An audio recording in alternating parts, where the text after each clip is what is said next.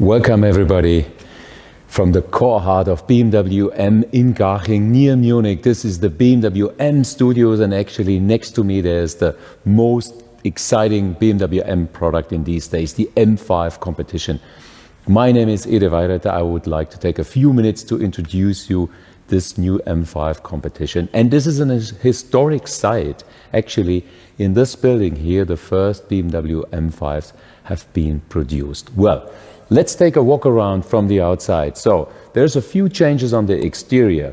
For example, the gurney flap, the spoiler on the trunk comes in high gloss black.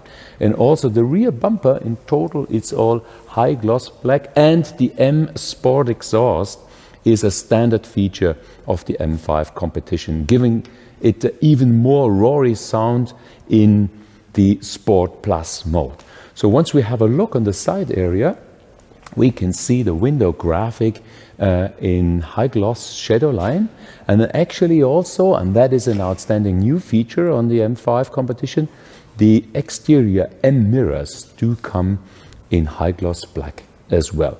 Well there's something brand new let me show you.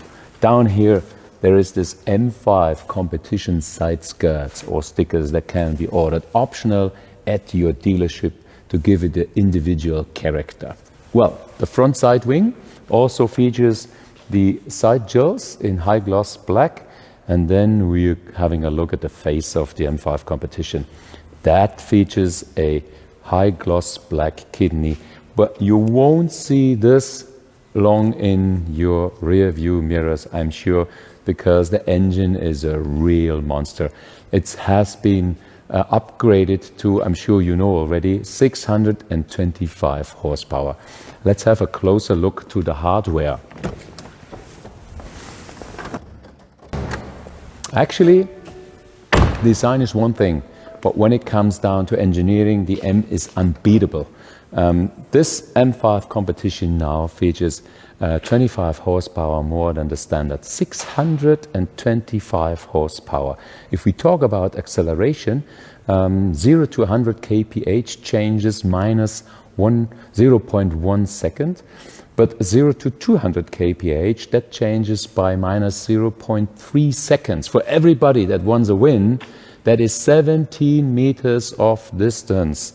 Uh, and that car is definitely worth it a try on racetracks.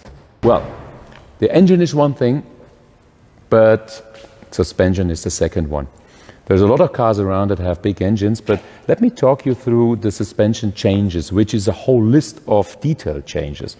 You might have noticed that this car, the M5 Competition, also features a lowering by 7 millimeters. This is due to the springs that have been changed, stiffened up by about 10% front and rear. Guys have also changed the camber, the front axle inclination changes, which gives it a more precise handling and steering. Uh, and on the rear, the rear axle carrier has been changed the mountings from rubber to joint ball. Also, the M engine has been connected directly, more stiffened to the chassis, which gives you even more spontaneous response. And finally, there is a new wheel, 20-inch aluminium forged one uh, with a changed tire in uh, tire height to 35 instead of 40, giving an outstanding performance on racetracks. But the guys of engineering said by not killing the daily comfort. So in total, the M5 competition definitely is worth a try.